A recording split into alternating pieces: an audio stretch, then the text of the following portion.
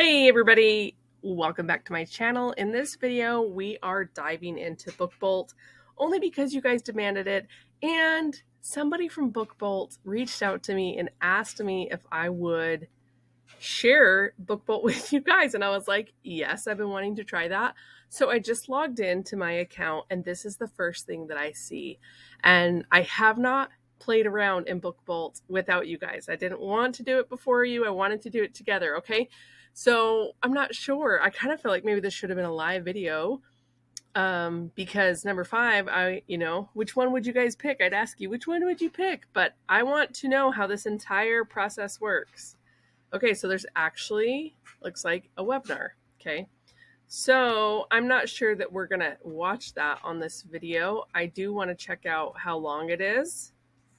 Okay, yeah, this is two hours. So we're not we're not gonna dive into that quite yet.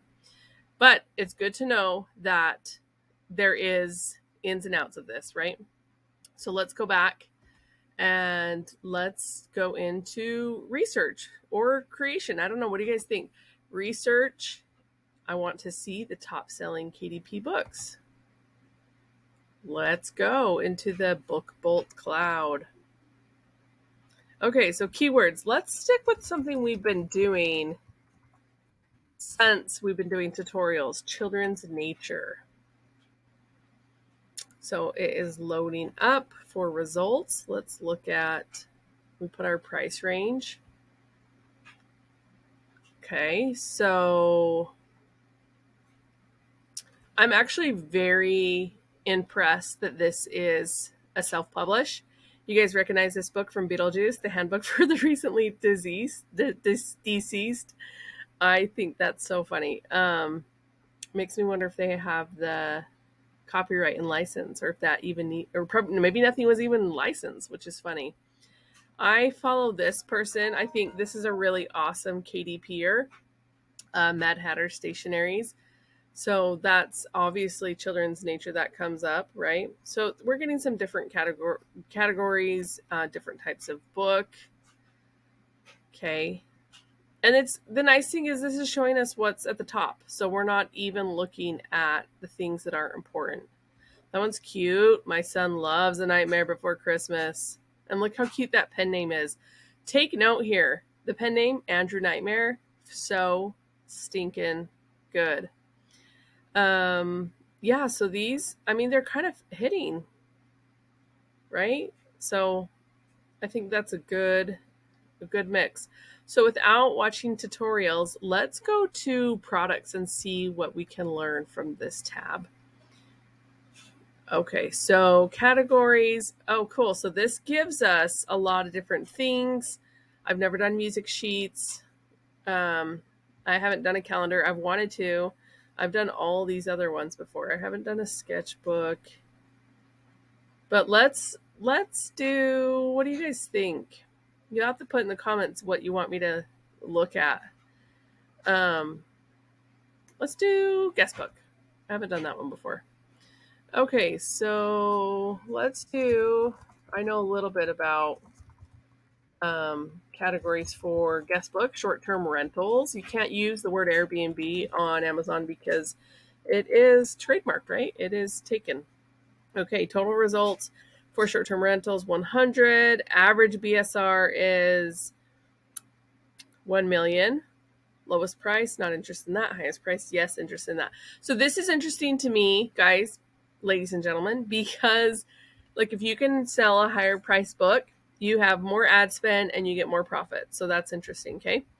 So let's see. Loading more please wait okay? Let's see is there a way to see the most expensive let's see.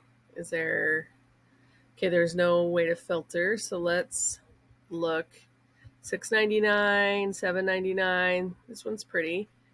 But I'm interested, like, let's see the ones that are selling for more monies. And it looks like on the side here, there's other keywords. These don't necessarily match short term rental. This is short term memory. So they're just taking that and running with it. Uh, the keyword count, this one does fit a little bit more like vacation, home, welcome, visitor. So that's interesting. This could be good for like keyword research. Okay, so I'm looking. I wish that I could filter it to the most expensive because I'm wondering is it a self publisher? So this one is a little bit higher up there, right? And it's, uh, you know, 300,000. It's three years old. Yeah, I would love for this to be. Oh, here we go. Okay. So, guest book, an oceanfront visitor sign in logbook. So, this is like someone that's going to have a house that they're renting out.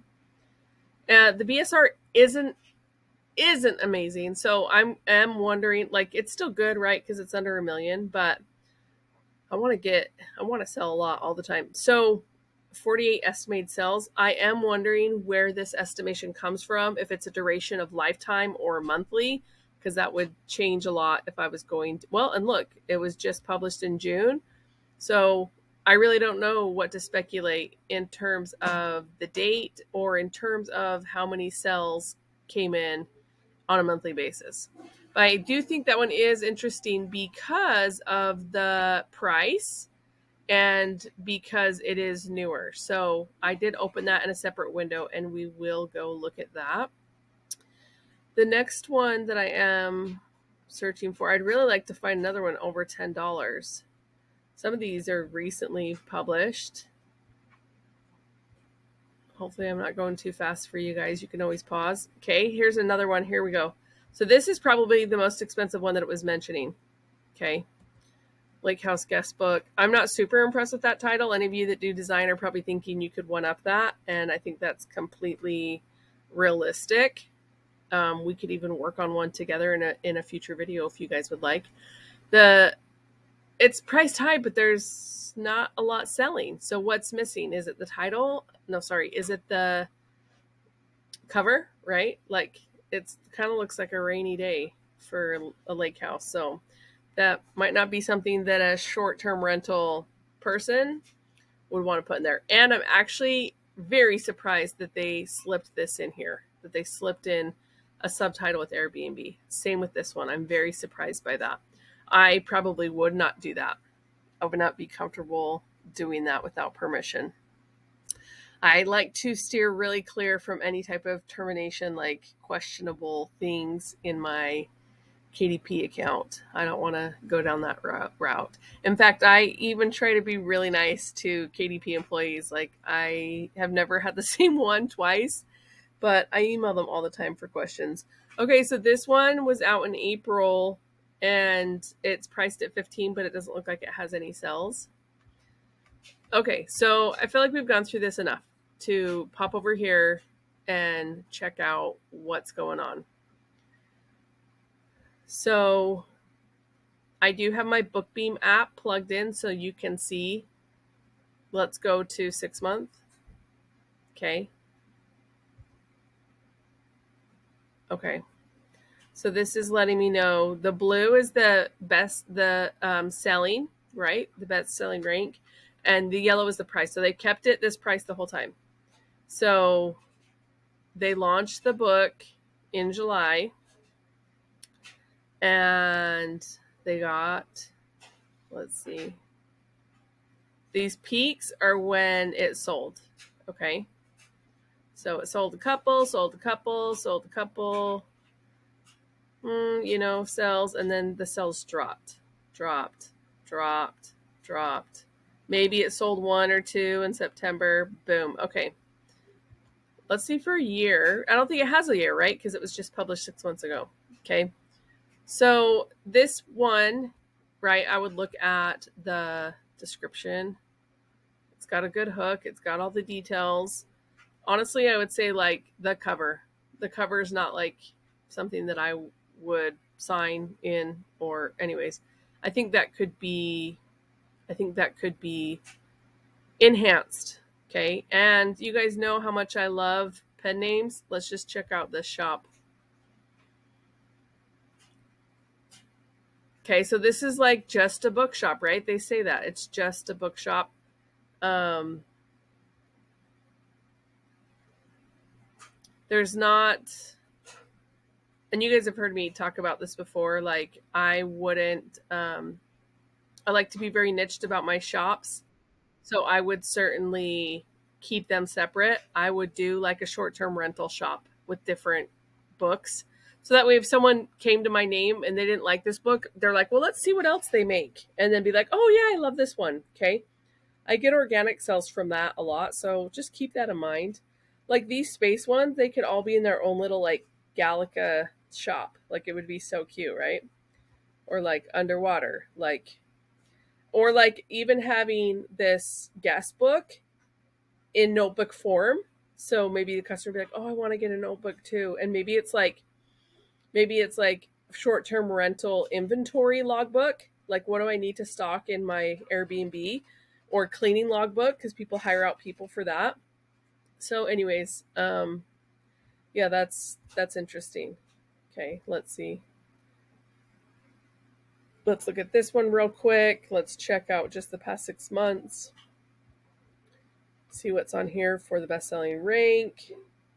Okay, so this maybe sold one.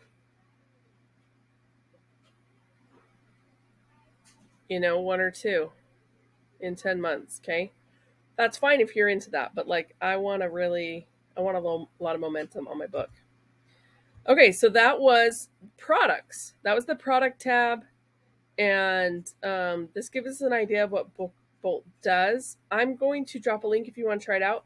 But I think I'm going to do another video to go through some of these other things.